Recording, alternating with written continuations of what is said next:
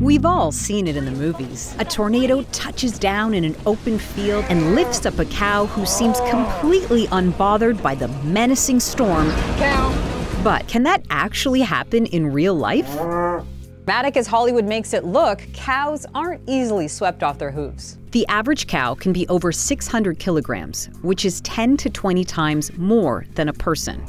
Although rare in Canada, some tornadoes are able to reach wind speeds over 300 kilometers an hour.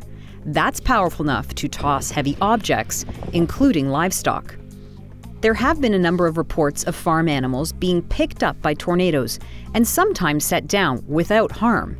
That said, when severe weather strikes, livestock are incredibly vulnerable.